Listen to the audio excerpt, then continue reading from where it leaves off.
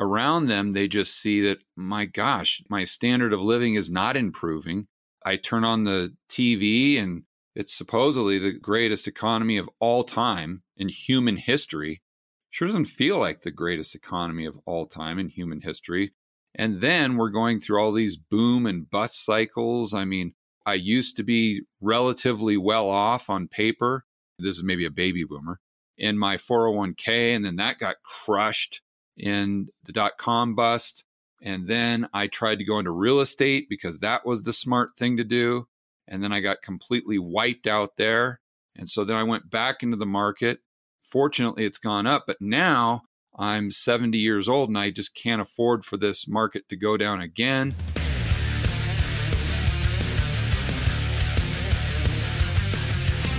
Welcome back to the Breakdowns Free Ideas Festival, a 4th of July exploration of ideas with the potential to shape the future of the economy. This episode is sponsored by Bitstamp and CipherTrace. The Breakdown is produced and distributed by Coindesk. And now, here's your host, NLW. Welcome back to the Breakdown. It is Tuesday, June 30th, and as you just heard, I'm kicking off a week of what I'm calling the Free Ideas Festival to celebrate the 4th of July, Independence Day in America. Most of the episodes this week will be a deep dive with a guest on a single idea that I think has the potential to reshape the world around us. And we're kicking off the week with someone whose story embodies the entrepreneurial side of the American dream. George Gammon is a perennial entrepreneur. He built businesses throughout his 20s and 30s until soft retiring at 38 when he realized that entrepreneurship was giving him money, but not freedom. Since then, he's followed his nose around the world for a variety of different opportunities from real estate to macro investing. He's gone deep into macroeconomics, and over the last year or so, he has built one of the absolute best YouTube channels and one of the most popular new podcasts in the macro and investing space, which is called The Rebel Capitalist Show. It is a show for people who feel like something in our economy is fundamentally off, and I know you're going to love hearing from him. In this interview, we talk about everything from his journey as an entrepreneur to why George believes that the economic force underlying all of this frustration and dislocation that we're seeing is inflation. Buckle up because this one is wild. All right, I am here with George Gammon. George, thanks so much for making time today. Thank you for having me. I'm super excited to hopefully deliver some value to your audience.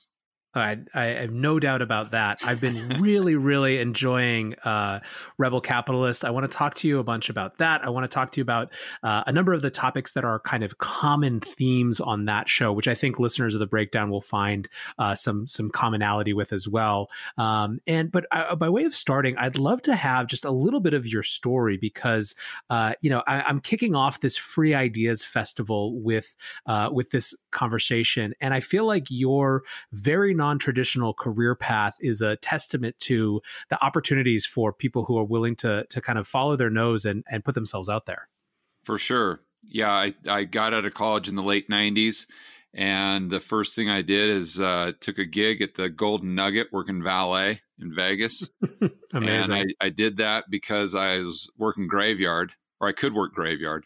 So it in at the Nugget in that time, graveyard was 10p to 8a and then you'd get you'd work four tens four 10 hour days mm-hmm. and so i would take all the the tip money and my main purpose for getting a gig there is i had a t-shirt business that i started and i was just taking all my tip money from working valet at the nugget and putting it right into my t-shirt business trying to grow that on my own. And obviously i was doing everything. I was trying to build my own website. I was designing all the t-shirts. I was trying to do all the photography sell them yada yada yada bottom line the t-shirt business didn't pan out but that but that kind of got me on my way and i worked for a couple people did some consulting work and then just entrepreneur until 2012 where I decided to retire at the ripe old age of 38. I was uh, I had some winners, I had some losers, just as every entrepreneur does. You kind of throw everything up against a wall and see what sticks. But I, toward the end there, I, I kind of, I wouldn't say I figured it out, but uh, I kind of understood myself well enough to know how to make more than I was losing. I think as, as a better way of saying it.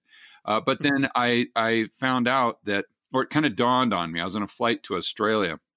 I remember extremely well. It's 2000, uh, late 2011, and I was just I was trying to grow the business overseas, which we had, which we had actually done into Australia, pretty much every English speaking country in the world and but it required me to do a lot of traveling so on one of these 14 hour flights and it just dawned on me that i i had a lot less freedom then than uh, you know after i built this business you're doing twenty four mm-hmm. million in revenues it's uh, you got over 100 employees with the full-time part-time and you're just like okay i'm making all this money this is great but i have less freedom than i did in college when I didn't have two nickels to rub together. And the whole point of going out there and making money is so you have more freedom. Uh, mm-hmm. One of the mm-hmm. guys, the older guys that I worked with, uh, I partnered with on a deal. He was, I guess you could call him a mentor. He was a CEO in Silicon Valley for many years. And he always said to me, Money doesn't buy you happiness, but it buys you a hell of a lot of freedom. And if freedom makes you happy, then there, there there's an indirect correlation there. mm-hmm. So anyway, after that flight, I kind of decided to take a time out, and uh, and I never went back. And that's kind of when I got into uh, studying macro. At that time, I knew how to make money. I was really good at that, but I, I I didn't know what the Fed was. I didn't know really what the bond market was. I mean, I knew nothing. I knew absolutely mm-hmm. nothing. And I got, eh, I was in the Marina Bay Sands in Singapore, and I was about 15 minutes before a dinner date. And I was just scrolling through YouTube, ironically enough, and I came across Milton Friedman, his series Free to Choose. And it just completely blew me away because it was just, he was articulating everything that I had in my mind for so long. And that took me right down the rabbit hole from Friedman. I went to Thomas Sowell, who is still my favorite economist. Don't agree with him on everything, but um, still my favorite.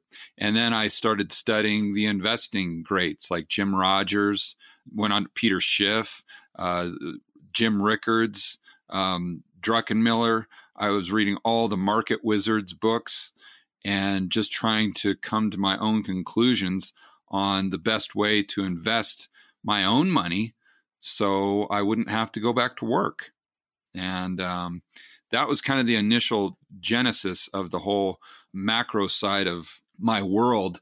And when I dove into it, I just became obsessed, absolutely obsessed. And uh, even to this day, whenever I'm in the shower, jogging, whatever I'm doing, eating dinner, eating breakfast, it's it's nothing but macro. I'm listening to podcasts. I'm listen, I'm watching other uh, YouTube channels. I'm listening to audiobooks. It's just uh, it's nonstop. So regardless of the YouTube channel or any of that, I, would still be doing this stuff. I think that's kind of the way it should be. But going back to 2012, I got into real estate then because uh, I looked at a chart of Japanese real estate market going back to 1990, and I saw that when they had their crash they went down by 60%. I saw similarities looking at the charts of the US housing market. Remember, this was back in 2012. And so I thought that would be a good time to go into the US market. And I thought my downside was maybe 10% or so. But I was really looking at it from a standpoint of cash flow. But I wouldn't have came to that point if it wasn't for Jim Rogers and understanding how he tackles investment problems and how he uh, you know his type of strategy but learning from everything. And then I, I didn't go into it but i played blackjack uh, i counted cards and that had a lot to do with my business success and that I think has had a lot to do with my investing success as well. But uh, so since 2012, I've done a lot of real estate. I made a lot of money overseas as an entrepreneur. So once I understood the real estate game in the United States, I started looking overseas for better returns, and that's what brought me to South America. Originally, coming to Colombia was a play on oil. It was a macro play. So uh, back in 2015 or so, as oil dropped down below 30, and I wanted to go long oil, but I didn't know a thing about it. And I looked into the currencies and I saw that the Colombian peso was loosely correlated to oil or loosely tied to oil. And so I thought, well, if I can buy some Colombian peso denominated assets, maybe that's a way to go long oil in something that I know better than just how to play futures. And then I said, well, I know a lot about real estate, so why don't I just do real estate in Colombia? And that's a way to go long the peso and basically go long oil. So that's why I came to Colombia, to start investing here. Now, on paper, I haven't made any money on the peso. In fact, I lost it. For the majority of the time, I was ahead. I was quite a ways ahead, but the dollar's been so strong lately that the mm-hmm. pesos, you know, I'm in at about 34. The peso's at 3,700 or so right now. But fortunately, uh, I stuck with what I knew. So I've made a, a lot of money on the actual real estate and building equity through remodeling and buying cheap and selling expensive and all the stuff I talk about on my uh, on my channel. But the original reason I came here hasn't really played out, ironically enough. So that brings us to current day. I started a TV show in 2019 because I was doing all these remodels. And I thought, man, if these shows are so popular back in the United States, why wouldn't they be popular in Colombia? Why wouldn't they be popular for the Spanish speaking market? And I mean these shows, I mean shows like Flip or Flop or um, Fixer Upper, just where they mm-hmm. go in and they, they remodel it and then you do this big reveal and stuff like that. So I pitched the local station here on doing the show. They thought it was a good idea. We came up with a deal where I would produce the show myself and they would air it. So I, I had to figure out how to become a TV producer in about three weeks. and it's a typical entrepreneurial mindset where you kind mm-hmm. of shoot. Yeah, sure. Three weeks. Okay, great. That's, uh, exactly. No Exactly. I went in there pitching them like, "Oh yeah, no problem. TV show. Oh, this is gonna blow you away." And then when we get done, I'm like, "Oh shit! How do you how do you produce a TV show? Let me figure that out real quick." but uh, anyway, it was really popular. But I didn't really like dealing with the network too much, and we were we were kind of in between first season and second season, and that's when I started the YouTube channel because I had these great editors and camera guys and gals. And uh, the YouTube channel just completely took off. And so I never went back to the TV show. You know, it's really interesting. There's uh, uh, two convergent trends, which I think you are, are, are living in, which are really interesting. The first is this interest in macro, and it sounds weird to say because obviously, you know, macro's been around forever, and you know, macroeconomics is a discipline. It's an AP test in high school, and all those sort of things. But I still feel like, and I don't know if you feel the same. There's definitely in the era of podcasts a lot of a re- a little bit of a renaissance going on, where people who weren't invited into that sort of academic discipline or that business discipline are now being invited in. Instead of it being something that's really far and abstract and that you're you know you're not allowed to know if you didn't learn it in high school or college it's something that people can start to pick up. And certainly coming from the bitcoin world we see that as well. I like to say that everyone who's interested in bitcoin is interested in macro whether they realize it or not yet. And I, and I feel really strongly about that. And so it's interesting to see how that passion developed for you the other part that I think is so fascinating about your story is that it's really interesting to see how you've leveraged your willingness to go actually be in places where their charts look interesting to you and figure out what the real opportunity is rather than just being, you know, 3,000, 6,000, 10,000 miles away. I feel like that's a, it certainly is, it gives you an edge relative to other people. It's a mindset that I developed way back in early 2000s and I say we because it was me and a, a couple other gentlemen. We just knew that in, in, this particular venture, we would just go where the money was. That's how we said it. You know, back then we weren't overly sophisticated in our terminology. You just go where the money is. and if if you can make a lot more money in this state, well, go to that state. If you can make a lot more money in this country, go to that country. There was really no hangups about it. It was just first and foremost, where can I make the most money? And that's what kind of led the decision making process from there So let's talk about Rebel Capitalist because the YouTube channel is blowing up. The podcast has been surging. I've noticed numerous people that I think I like to spend a lot of time trying to find voices that I think are under indexed relative to other people. I always, almost always will find them having had their first big show on Rebel Capitalist, it seems like. Were you surprised when people started to pick it up so fast? Because it hasn't been around very long for the type of audience that you've built. I wasn't that surprised with the Rebel Capitalist show, but as far as the George Gammon YouTube channel, I'm still surprised. And it, uh, I, I studied the kind of online.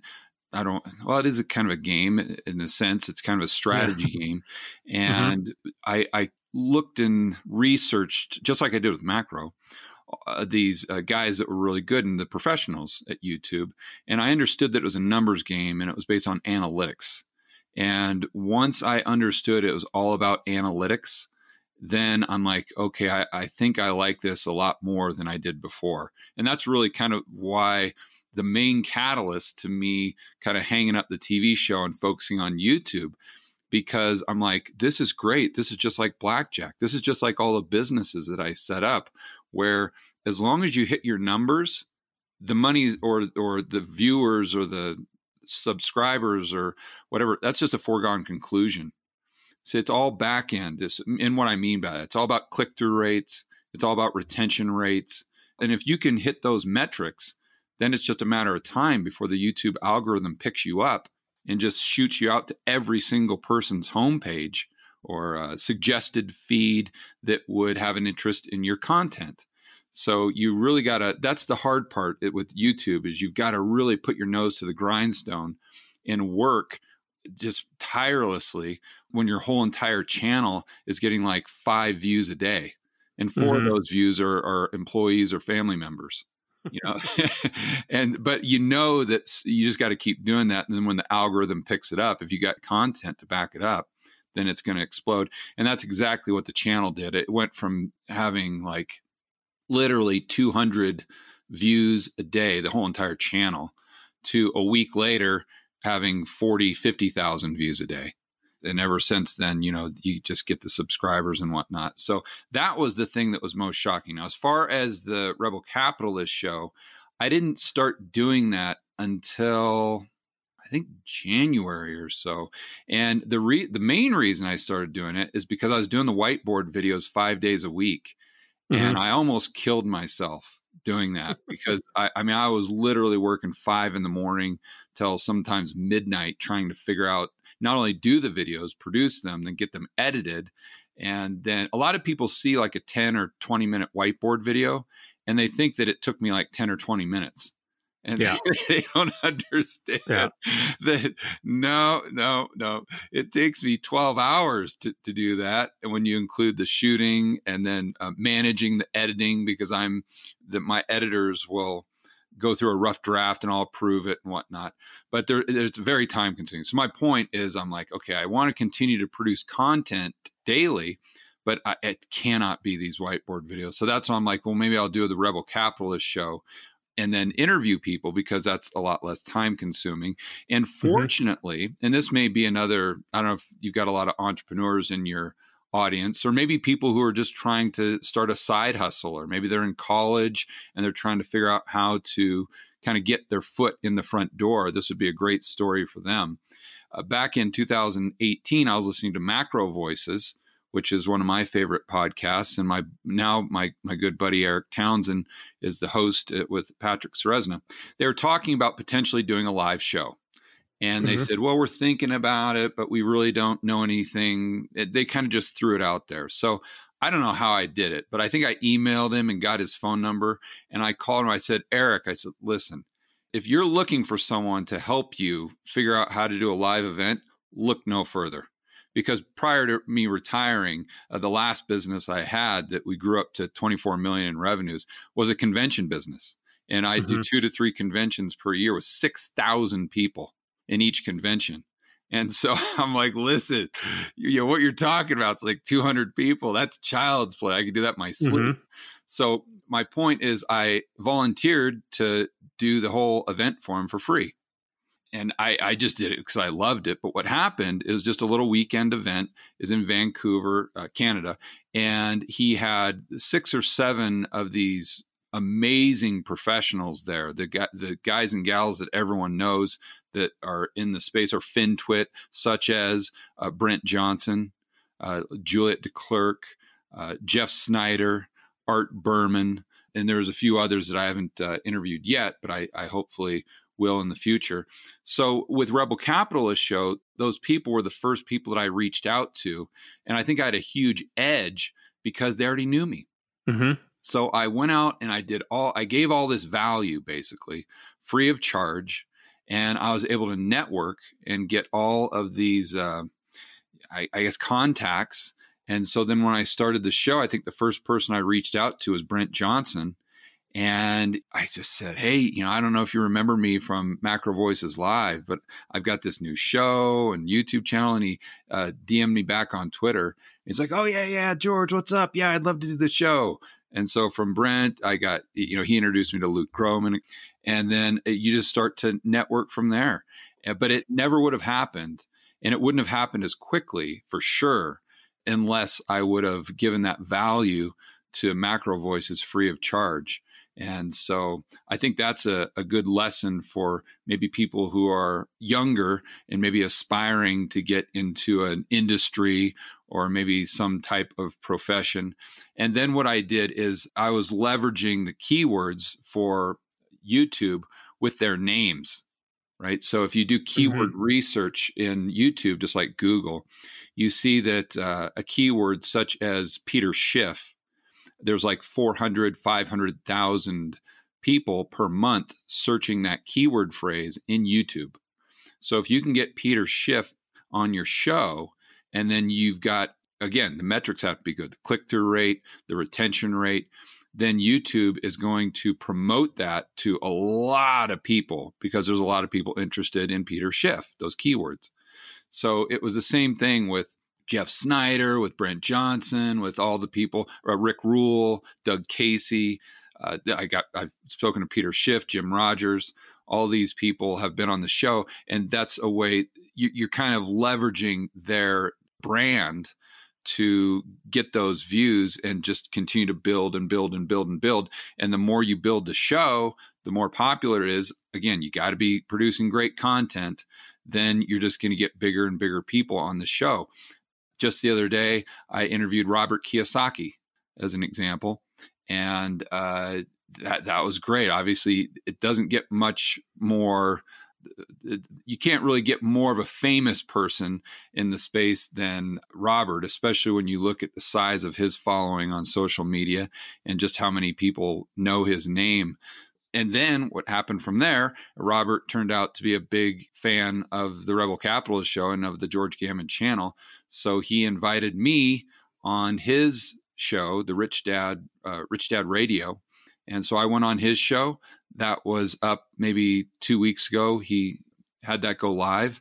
And then that gives your channel another huge boost and just brings on more people. So I, I think that's I guess the takeaway is you start giving as much value as you can, and sooner or later you're going to be able to grow and probably exceed your your goals.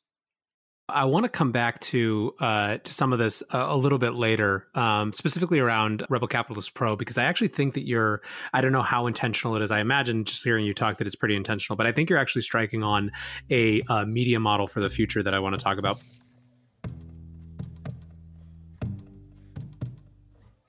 Bitstamp is the original global cryptocurrency exchange. Since 2011, Bitstamp has been the preferred exchange for serious traders and investors. Trusted by over 4 million customers, including top financial institutions. Bitstamp is built on professional grade trading technology. Their platform is powered by a NASDAQ matching engine, and their APIs are recognized as the best in the industry. Download the Bitstamp app from the App Store or Google Play, or visit bitstamp.net slash pro to learn more and start trading today. That's bitstamp.net slash pro. CipherTrace helps grow the crypto economy by making it trusted by governments and safe for consumers and investors. How do they do it? By protecting VASPs, banks, and other financial institutions from crypto laundering risks while protecting user privacy. Years of research have created the world's best cryptocurrency intelligence with the best attribution and deepest token coverage. So if your virtual asset business isn't using CipherTrace to manage compliance risks, you should start now. Learn more at ciphertrace.com.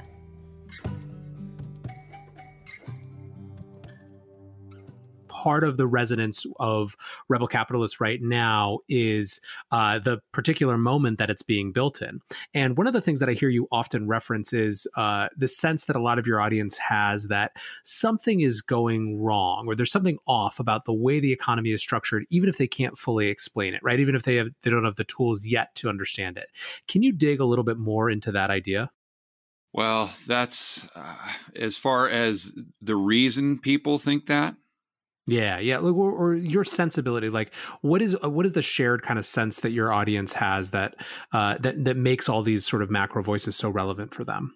Yeah, I think it. Well, technically, I think it boils down to inflation, mm-hmm. and that that's the reason. But I don't think the person that just kind of the average Joe and Jane, I don't think they see that around them. They just see that my gosh, my standard of living is not improving I turn on the TV and I look at Donald Trump's Twitter feed, and it's supposedly the greatest economy of all time in human history. Sure doesn't feel like the greatest economy of all time in human history. And then we're going through all these boom and bust cycles. I mean, I used to be relatively well off on paper. You know, this is maybe a baby boomer in my 401k, and then that got crushed in the dot com bust and then I tried to go into real estate because that was the smart thing to do. And then I got completely wiped out there. And so then I went back into the market. Fortunately, it's gone up, but now I'm 70 years old and I just can't afford for this market to go down again. What do I do? And while at the same time, I've been losing purchasing power. So, what I thought I needed as far as cash flow was not accurate, first and foremost.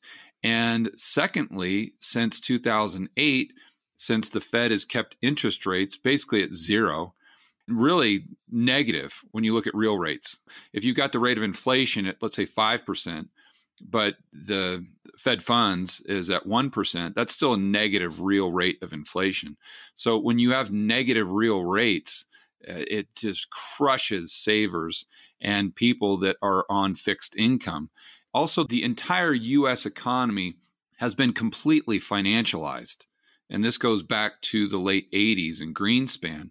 And so before, and what's kind of intuitive for most people is they think, all right, well, the stock market should be a reflection of the economy. And that is no longer the case. In fact, it's not even remotely close to the point where now the stock market isn't even a reflection of the underlying fundamentals of the businesses or companies in the stock market. So you have this situation where the economy is, or the stock market is no longer a reflection of the economy, but the economy is completely dependent upon the stock market. So why is that? Because no one can get ahead because of inflation and they don't know why, but they look around them and they say, well, shoot, the only way my buddies are getting ahead is they're not getting promotions. They're not making any money in their savings account. They're just going into the stock market. So you get this kind of mentality and mindset throughout society where the only way to get ahead is invest in financial assets, but stocks, bonds, real estate. And I know Luke Gromen has done several studies on this where he shows that a good majority of, or a substantial percentage of US consumption is strictly based on stock market going up. And as we know, 70% of the US economy is consumption. So therefore, the US economy is the stock market. And you've got this tail wagging the dog type situation. And I think that's I mean, I give you several reasons there, but I think that's the kind of the main reasons why people look around them and they feel that something just isn't right. And then I think they look at quantitative easing, they look at all the money printing and all the debt just exploding. And they're like, wait a minute, if I did that, that wouldn't pan out. And yeah, I get it. The the Fed or the government, they can print their own money, but how does that end well? Like if people just they, they don't understand the economic principles behind it, but it's just flat out common sense that you're trying to print purchasing power. So how how how do you print purchasing power? If you were someone stranded on a desert island and you had a billion dollars, would you be rich? No, because there's nothing you can buy. The billion dollars in your suitcase is absolutely worthless other than just to maybe start a fire. I mean, that's it, right? So it all goes back to producing goods and services. So I think people just intuitively understand that an economy has to produce goods and services to sustain itself and to become richer. You have to produce more goods and services. And you don't become richer by printing green pieces of paper. And I think that's kind of the big disconnect for most people.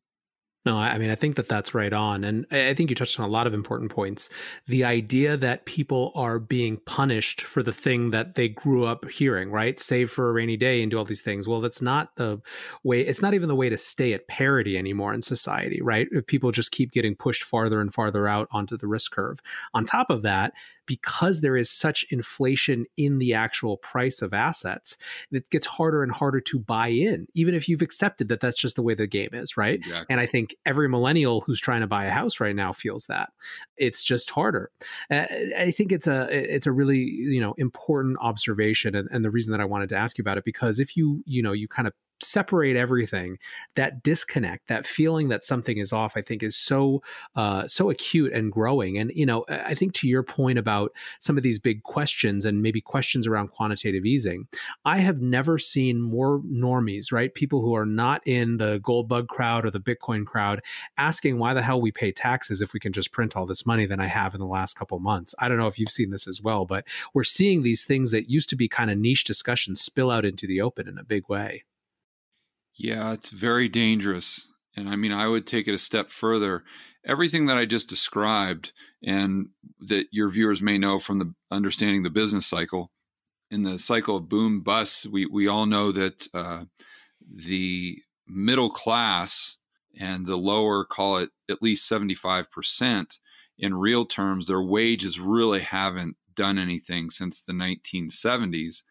But we know the people that hold financial assets, their wealth, at least on paper, has just continued to go up and up and up. So you've got this this huge disparity. The problem there is that a lot of people that uh, especially you see the riots and the social unrest that's going on in the United States, they don't fall on George Gammon's YouTube channel or your podcast or anything like that to, to kind of make sense of things that they don't understand because we as human beings are always trying to make sense of the world around us. But mm-hmm. unfortunately, mm-hmm. many times we don't have complete information. And therefore, we'll just come to whatever is the most logical conclusion based on the limited amounts of data we have. And where I'm going with this is if you read Marx, you see that everything that's playing out and that has played out over the past 20 years, if you really didn't understand the financial system, if you didn't understand the Fed, it's pretty much exactly what Marx said would happen. And so if I'm someone that's a college student, or maybe regardless of your age, maybe I, I didn't just initially stumble across the Austrian School of Economics or something like that. It's right. very easy to get into maybe one of these other narratives that totally explains what's going on. I mean, Marx nailed it with the the boom bust cycle. With the, I mean, he nailed what would most likely. I shouldn't say nailed it. I should say that it looks like he called exactly what would happen mm-hmm. because mm-hmm. he said that capitalism is actually good to a point, but once it gets to a certain point, it cannot continue to grow unless it starts feeding basically on the workers. And then the capitalists don't have, eh, because he thought prices would continue to go down and down and down because of capitalist ingenuity. And therefore, the margins would get squeezed. So they'd have to squeeze the workers. But once they squeeze the workers, that would be mean less customers. And therefore, the capitalists, in order to expand their wealth, wouldn't reinvest their capital back into growing their business. They would invest in financial assets that would create booms and busts in financial markets. So you see where I'm going with this.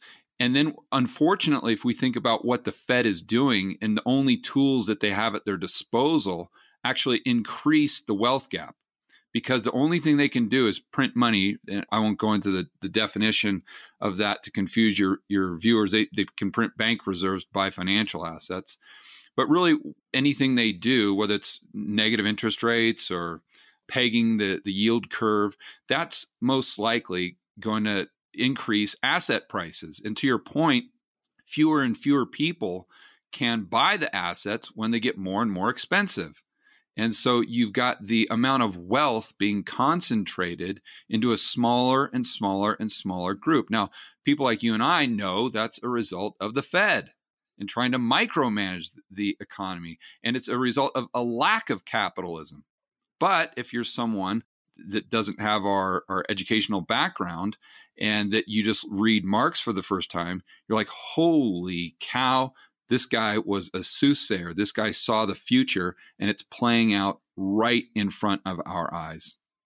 Yeah, I mean, and I think it's a, I think it's a really salient point, and is also why creating alternative media spaces that are safe for people to come explore these things feels really important to me right now. Because my sense of how, uh, right, we have a power dynamic in the U.S. in particular that will very happily thrust you into a, a kind of a named party on one side or the other, because it perpetuates a sort of divisive system where people who are both correctly diagnosing that something feels off are going at each other's throats rather than actually questioning some core fundamentals of the system. And I think that the the political conversation has become so toxic in most of the main channels that you don't have that space that invites people who to your point have read Marx, but maybe don't have they're not done necessarily but no one's giving them a chance to dig deeper and find out what other reasons there might be for this uh, to your point sort of abrogation of the capitalist system and and I think it's really important to to invite people who are trying to understand to dig into these things because there actually are practical solutions with policy that just aren't being discussed. Absolutely correct. And I want to give credit where credit is due. This is not my idea. This comes straight from uh, Jeff Snyder and Emil Kalinowski. They're good buddies of mine, and they just did a podcast on this. So I'm mm-hmm. in the mm-hmm. process of doing a whiteboard video, just expanding on their ideas, which is why I touched on the on the topic.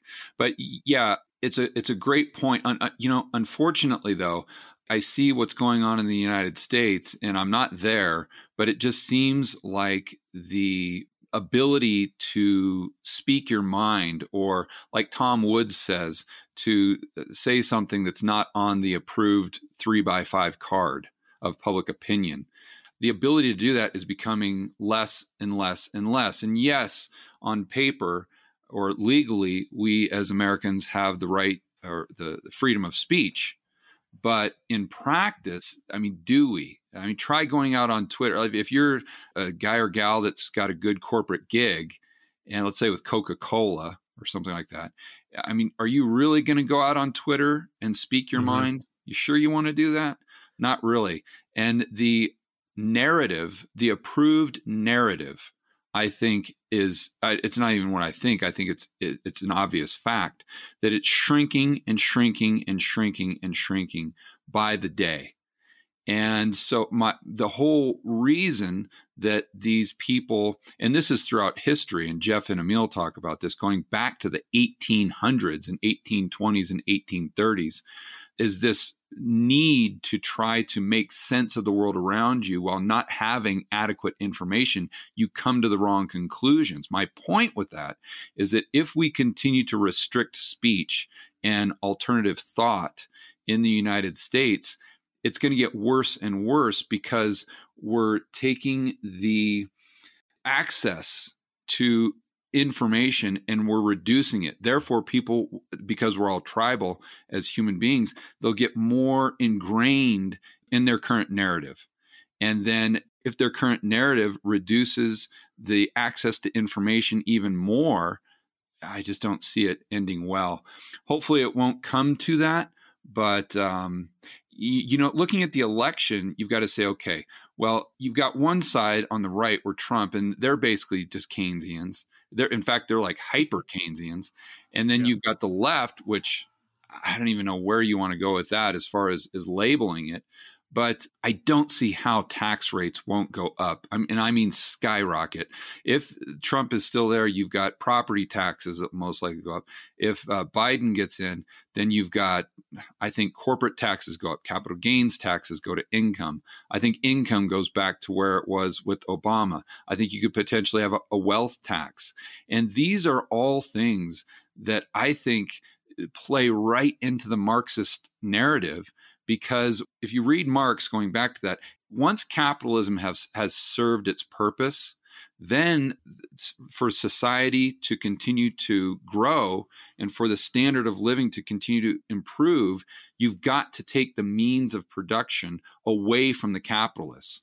And I think the easiest way to do that and the most uh, palatable for the the people who want to achieve that objective, especially in the United States, is just through higher and higher and higher taxation.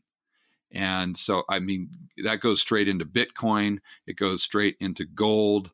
And if you see that as being kind of the end game here in five, ten years, then I think now is the time to start adjusting your portfolio accordingly. I know I went way off on a tangent there, but hopefully, I, no, no, it's I, listen. I, I do that all the time we live in 2020 there's there's no well one there's no way to not go on tangents. And two and i believe that this is at, you know exactly on par with the conversation you've been having. Things are inherently political and we need to stop being afraid of that right? To your point like we can't be afraid to have conversations you about, can't be afraid to uh, offend uh, people for heaven's sakes. You just yeah, I mean, what we're doing is we're, we're everyone is placing feelings above everything like you've got this hierarchy and feelings is right at the top of the cult. It's like a religion. And that's the God that everyone is praying to, their feeling. We've got to get rid of that and go back to using our common sense, using our thinking and not using our, our feelings. And once we go back to using our, our thinking and start to try to and stop being so offended about everything and listen to other people. It's one thing going back to the Rebel Capitalist show.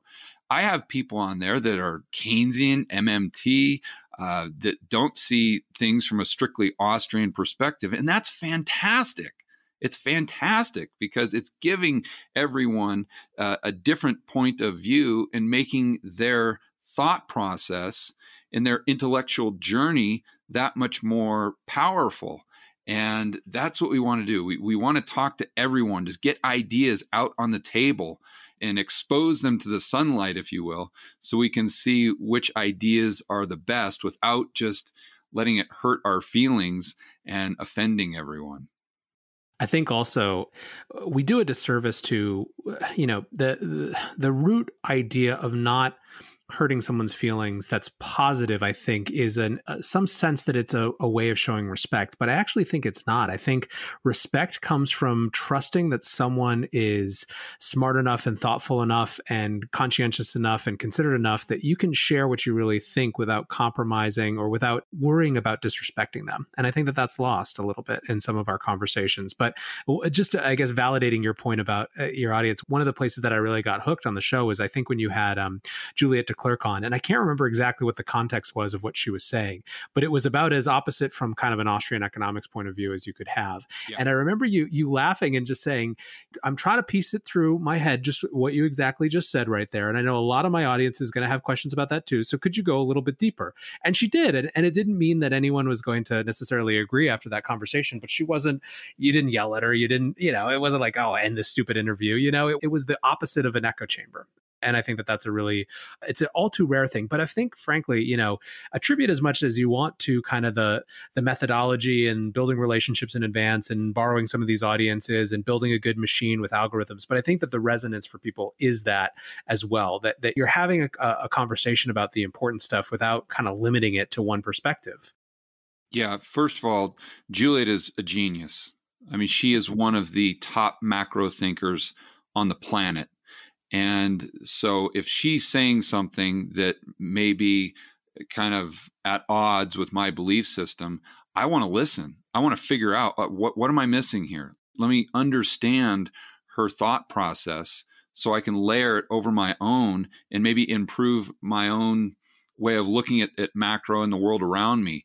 And, and, yeah, that doesn't mean that I uh, agree with everything at the end of the day, but at least I think it through. And you want to understand their position. I think that's the big key. You want to try to understand, oh, okay, I get what they're saying. And I, I don't know who said it, but it's so true that the person with the best mastery over their own opinion or view is someone that can argue the other side just as mm-hmm. well. So if you want to really say, okay, I understand Austrian economics or I understand why money printing is bad, I think you should be able to explain and debate why money printing is good just as well. And that's when you can really say, okay, I get it. No, I love that. Um, I want to ask you a, a, different side of, of the retail conversation because we're talking kind of talking apart the the set of people who have had this sense that something is wrong and they're trying to figure it out. But there's another set of people who had the same realization and took a very different path. And so I'm talking about Dave Portnoy. And so earlier this year, you know, this guy who's the the founder of Barstool Sports and sold it for a ton of money. He obviously, like a ton of Americans, wasn't able to bet on sports anymore. wasn't able to watch sports. wasn't able to follow that news. And right. so he decided he was going to do day trade trading. And this is interesting because I had seen even before this a lot of people, a lot, a lot of people calling for the barstool of uh, barstool finance. Right? They wanted that sort of force in financial media, which has for a long time been pretty stuffy, to put it lightly. And you know, it was interesting because the way that he describes it, his first couple weeks, you know, he was like, "Well, this is going to be really tough," so he shorted Boeing, he shorted Lululemon, and he took a bath and then the way that he describes it is something to the to like you know then i realized that the federal print as many Schrute bucks as it needs forever to make sure everything goes up. And since then i bet on everything going up and it's been a pretty easy game since then. So I, i'm interested in your take if you've been watching that kind of the robinhood revolution play out at all and just what you make of this whole uh, this whole kind of day trader renaissance. Well, there's a lot to unpack there most of my businesses that I had revolved around marketing. And I actually owned a media buying company where where it was kind of a slash ad agency. So mm-hmm. I can totally appreciate and respect what Portnoy is doing from a standpoint of marketing, which which don't kid yourself. That that's what he's doing. He, he's mm-hmm. he's just it, this is all about marketing for him. And so I can totally uh, appreciate that. I get it. Now, as far as what he's proposing and what his audience most likely is that what their takeaway i think is is incredibly dangerous mm-hmm. because you know he's dealing with these mostly unsophisticated investors where they don't know that his is it's all a shtick to get views and just to increase his brand recognition. So they think that he really is is out there. Maybe you know he's taking five million. I think is what he says all the time in his portfolio, and he's making. That's why he makes fun of Buffett and he makes fun of all these people because he knows that if if he says Warren Buffett's washed up, that everyone's going to retweet that. And again, it, it goes back to the marketing. But unfortunately, with the people that are a little more impressionable, they're going to buy into this and say, "Oh, wow, yeah, all you do is just buy eh, you just pick three letters and buy it. You just you just blindfold and it's going to go up. This is easy. Why am I not doing this?" So then everyone gets their stimulus checks or their additional unemployment and they're like, "Well, okay, this I'm playing with the house's money. I mean, I'm watching Portnoy out there make a killing or so he says." And so I'm just going to do that because I know the Fed's going to print Schrute bucks and they've got my back. So everyone's buying into this Fed put. You've got the Fed put becoming more ingrained. It was just kind of ingrained in the minds of the financial industry, but now it's it's like it, it's almost as common as it. Just everyone knows it. Just that's what happens. That the Fed prints money, the stock market goes up. Unfortunately, that's not what happens. It's a Pavlovian effect and I again I need to give a hat tip to Jeff Snyder. Just because the Fed prints money, quote unquote. Most people think that that's just dollar bills that they spend right into the market. And they don't really understand that they're creating bank reserves. And in order for those bank reserves to increase stock market levels, the commercial banking system has to use those bank reserves to backstop other loans or to buy other financial assets. My point is the transfer mechanism has to be the banking system. So now the Fed's starting to remove that in the sense that they're trying to go in and, and, buy things. Technically, they're not supposed to do that based on the Federal Reserve Act if they would really abide by the spirit of that law. But the, the Fed really doesn't have as much control as everyone thinks they do, even the, the people in the financial industry, as far as this quote unquote Fed put. And you can see that going back to March when I don't know if you recall, but we had that Wednesday when the Fed was going to have their meeting. They had that emergency meeting on Sunday mm-hmm. because everything was just going to hell in a handbasket. And they came out, they dropped uh, the Fed funds by 100 basis points, and they announced QE infinity, and they're going to commit to a, a trillion dollars a day in the repo market and the market, the stock market goes up for call it three or four hours and then just tanks. Mm-hmm. And then what really got the market going back up a few days later was the government coming out and saying, okay, we're going to do this massive stimulus package. So it's almost like the, the market said, we're not buying the Fed put anymore. It's expired, if you will. But now mm-hmm. we're going to completely rely on this government put is what I'm calling it.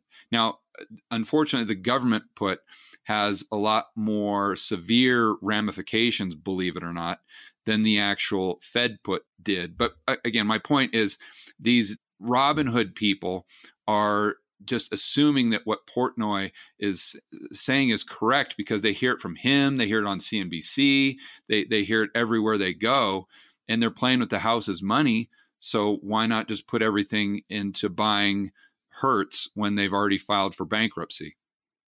That's wild.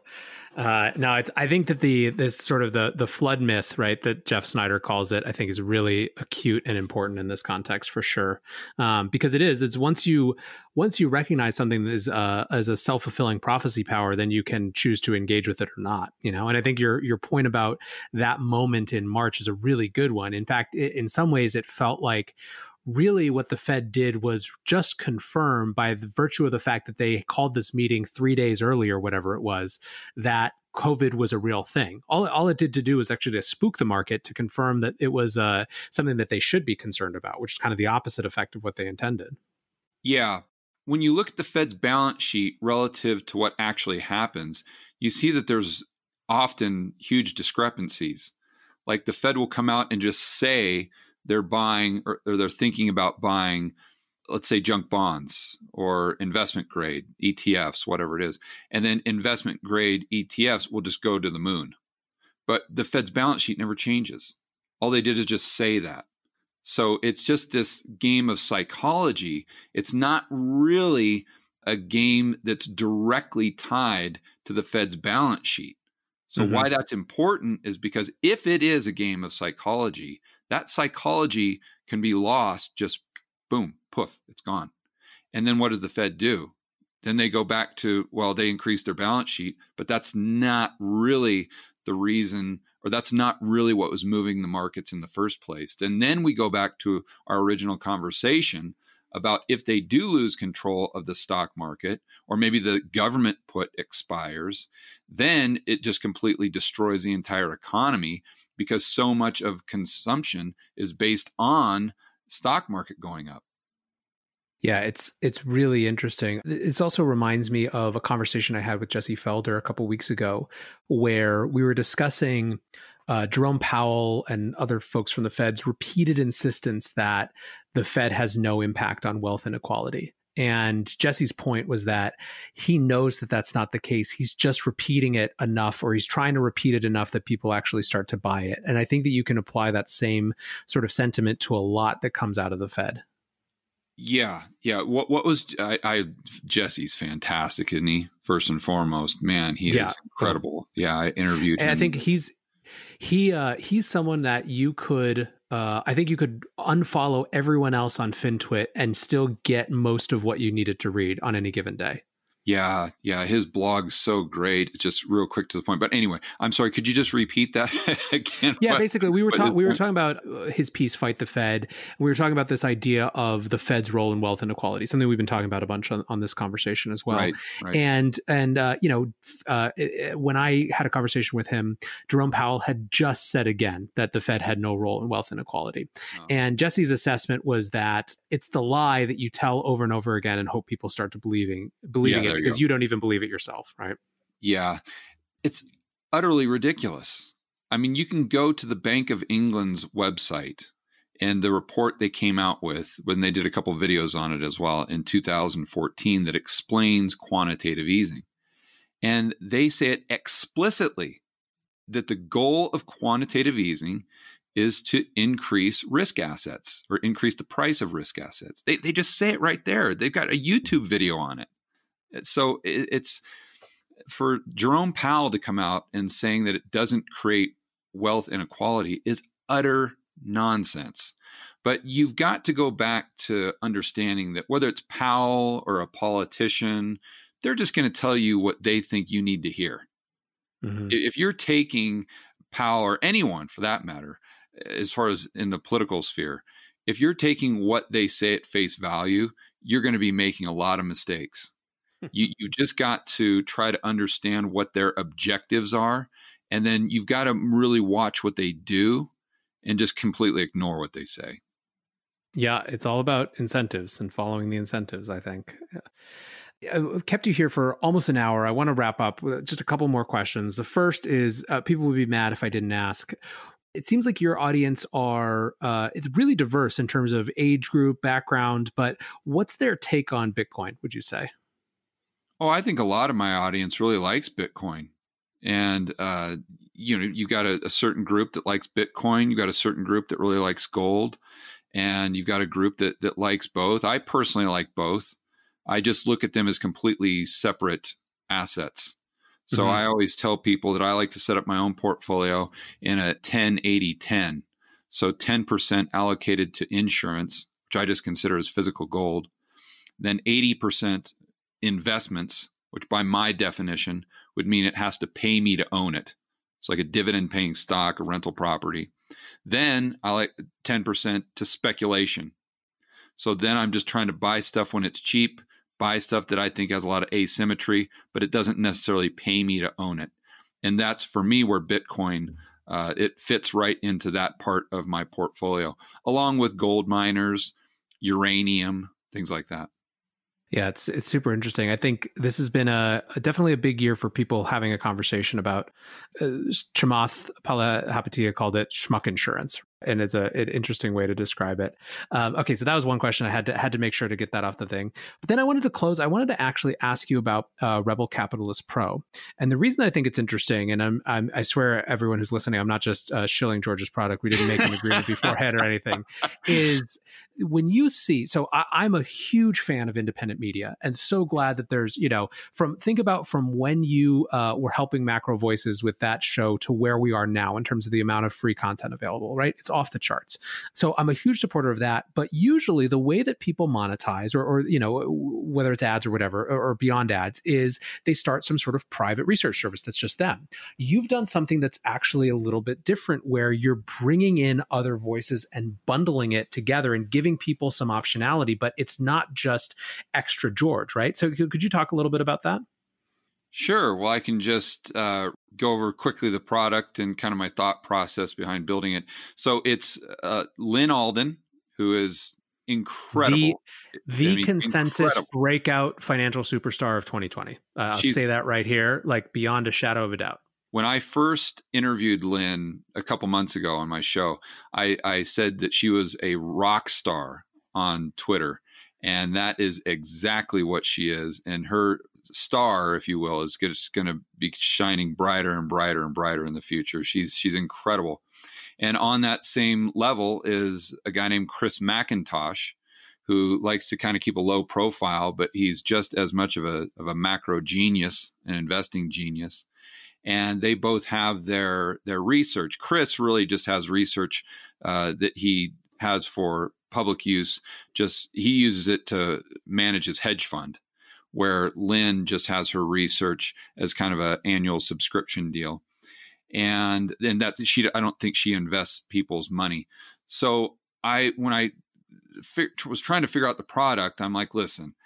I want to deliver as much value as I possibly can. And I want to build a product that I want, that George Gammon wants.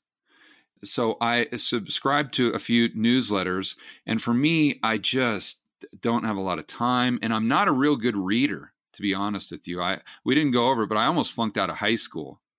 And I've never taken an econ class or a finance class or anything like that. But I'm not a, a person that can sit down and like read 20 pages. Like I have ADD. I, I, I just can't do it. And so, I mean, I can highlight some things and I can look at some charts and say, oh, that's interesting. But that's kind of how I like to consume written information. And so for these newsletter, it wasn't a real good fit for my learning style. So I thought, boy, that my ideal would be to have someone's research letter and then be able to go on a live stream and just kind of ask them questions directly after I kind of scanned their uh, research letter and kind of highlighted things. And so I'm like, okay, well, what I can do is bring in the people that I, I want to read their research, and then maybe I can set up live streams. And then it was actually um, MacIntosh who said, listen, you need to set up a forum because I think people are going to find more value in the actual forum and the the community driven content than they are in, in my research. And I think he hit the nail on the head. I just, we set things up the other day and people are starting threads and asking questions. And, but we have all of this aggregated, kind of decentralized brain power. Uh, one of the gentlemen I know that just uh, signed up is, uh, been in the gold business for like 30 years. Another gentleman is in the nuclear energy space. So he has all these insights on uranium. But it was, but the bottom line, it was just, just the product that I wanted for myself.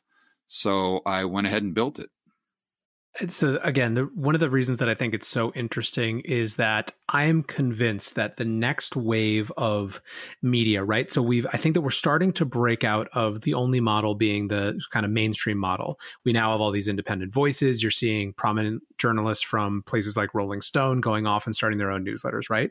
And frankly if there's anything that gives me hope for what we were talking about before in terms of keeping the overton window large for lots of different mm, ideas yeah. it's this idea of people building their own followings but the next step is, it seems to me, bundling, right? Finding ways to bring those things together because we can't have this hyper fragmented perspective where what happens if there's, you know, is it just a, a, power distribution or power law distribution where I follow, you know, one that I really follow, two that I sort of follow, and then 10 that I kind of follow? Well, am I going to really pay for the 10? How am I going to engage with those other 10? You know, like people don't want just one perspective. So, anyways, I just thought it was interesting how you started to build it. I think you're going to feel, see a lot of validation of the model. And I think you're going to see a lot of people building things like it. So, uh, big kudos and and I'm really excited to dig into it as well. Yeah, thank you very much, and I appreciate you giving me the opportunity to discuss it. yeah, no, for sure. Well, George, I I, I really appreciate your time. Uh, having you here. Like I said, I think that the show's great. I think the topics uh, that you cover on it are uh, really resonant with this audience and also just so important for this absolutely spectacular moment that we're living through. Um, I, I, you know, I, I was a student of history and 2020 is going to be one that people look at for a very long time. So thanks for helping us make sense of it. Yeah, no problem. And I could not agree with that more. We are living in fascinating times. And I think 2020 is just an example of how interesting things are going to be moving forward. And um, I think people have the opportunity now to get prepared. And so you can either kind of take advantage of the time you have now to educate yourself and position yourself. Or, like I always say, you can be a victim. So, listen to podcasts like this one, uh, even if it's not my show. Listen to Macro Voices, listen to Real Vision, listen to Jeff Snider's show, Making Sense follow these people on Twitter and really start digesting this information so you can come to your own conclusions. You don't want to delegate your thinking to other people. You come to your own conclusions and make decisions that are going to help you not only survive, but thrive in a world of economic insanity that most likely will just continue to get even more insane. In the Bitcoin world, we say DYOR, do your own research. Uh, there you go. George, where can people find you?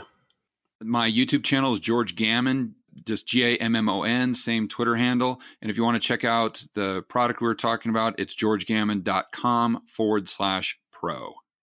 Awesome. Well, thanks again for being here and uh, happy 4th of July, too. Thank you very much. As I mentioned a couple times in that conversation, part of what I think is so important about George's show right now is this idea that we have to create space for people to explore why things feel so off in the economy to them without trying to railroad them into one political ideology or another. We have to create space where people can actually ask hard questions and have hard conversations that don't presume some ideological affiliation. Until we do, or if we aren't able to, I think we're in real trouble. So check out the Rebel Capitalist show, check out George's YouTube channel. I'm sure that many of you who love the breakdown are going to love that as well. Thanks for listening, guys, and until tomorrow, be safe and take care of each other. Peace.